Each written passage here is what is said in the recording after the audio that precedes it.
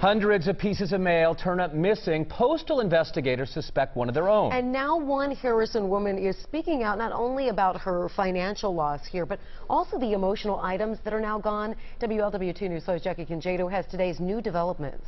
Federal agents say they started looking into this after 10 customers complained. They say their investigation led them to almost 900 pieces of stolen mail. I always received bills. Those always showed up, but the stuff that was, uh, you know, more personal would be stolen. First, it was a $50 Kroger card that never made it to Diane Schroeder's brother. We contacted Kroger. I found out that it had been used by someone on the Kemper Road um, location. Then a check she was supposed to get and didn't.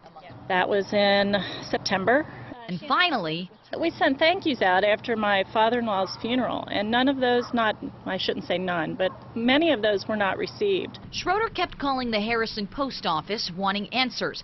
Finally, they told her what they told us, that federal agents have identified a postal worker who they think was stealing first-class mail. Investigators found 350 pieces that had been opened and another 525 still sealed. It could have been anything that he thought might have something in it. Investigators say it ranged from gift cards to cash and checks. They even got complaints from Netflix and Gamefly about missing discs. He took a lot from a lot of people, and, and it's just not right. Schroeder has started paying her bills online. She says it proves how one person can throw a shadow over an entire organization. He's cast a lot of suspicion on a lot of other employees that don't deserve it. Investigators say the unopened pieces of stolen mail will be delivered early next week. In Harrison, Jackie Congedo, WLWT News 5. Federal agents say the worker has not been arrested or charged, but he is off the job. If you think you might be a victim, call that number 888 USPS OIG.